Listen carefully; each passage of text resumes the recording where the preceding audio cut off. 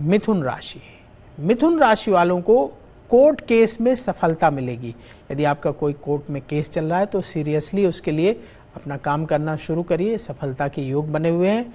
मित्रों की मदद से आपके काम बनेंगे। आप अपने दोस्तों से सलाह ले सकते हैं किसी महत्वपूर्ण विषय पर। शत्रुओं से सावधान रहें। शत्रुओं को हल्के में ना लें। वो अचानक नुकसान पहुँचाने का प्रयास कर सकते हैं। सेहत के मामले में मिथुन राशि वाले लापरवाही न करें, अपने खान पान को ठीक रखें। यदि कोई मेडिसिन ले रहे हैं, दवाई ले रहे हैं तो समय पर लेते रहें। शुभ रंग, sea green. Sea green colour की ड्रेस पहनेंगे तो आपका लक और बढ़ जाएगा। उपाय क्या करें? भगवान गणेश का पूजन करें। तो भगवान गणेश के आशीर्वाद से आपके काम सिद्ध होंगे। तो आप अपने घर के मंदिर में भी गणेश जी का पूजन कर सकते हैं और आसपास अगर कहीं भगवान गणेश का मंदिर हो, वहाँ जा कर के भी पूजन कर सकते हैं।